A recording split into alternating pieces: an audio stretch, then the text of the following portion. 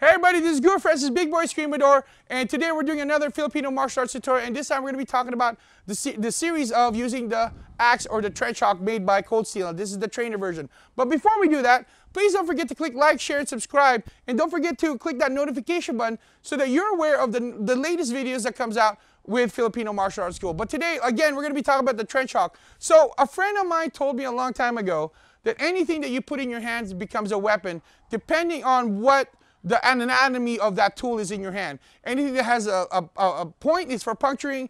Anything that has a flat surface is for blunt force trauma. Anything that has an edge is for lacerating. And anything that has a hook is for capturing. And anything, again, that's flexible is for wrapping or in this, in this case, definitely a whip. So we're going to be talking about how this is, this is one of my favorite training, uh, training tools.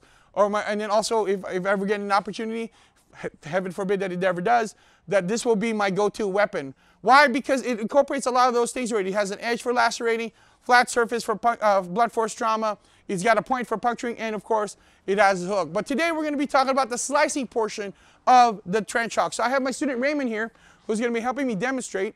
So basically, now of course, normally, if somebody was finding me empty hands and I have an axe, most likely that this person is not going to attack me. But then again, not most people are very sane when it comes to fighting other people. But we're going to be talking about how this, how I use this as a slicing, as a lacerating a tool. So back up. Uh, so when he say he punches me with his right, I'm going to slice here and then check, slice his abdomen, slice his neck, and then come back down, slice this way, and slice out this way. Boom. Okay, one more time. He's going to punch, slice, check, slice his abdomen, slice his neck, slice his, his, uh, his arms, slice, and then slice across his body. Okay, let's go to the other side. He's gonna, again, he's gonna punch, slice, slice his abdomen, slice his neck, slide his, uh, his, his torso, and step out and slide uh, and one, one finish uh, plantar slice across his abdomen. So there you have it. This is how you use the trench hawk as a lacerating tool. Um, and if you, you know, stay tuned for next week because we're going to be doing more using the trench hawk. Until then, this is Guro Francis, Big Boy Screamer. Until next time, peace out, God bless, and keep swinging them hawks.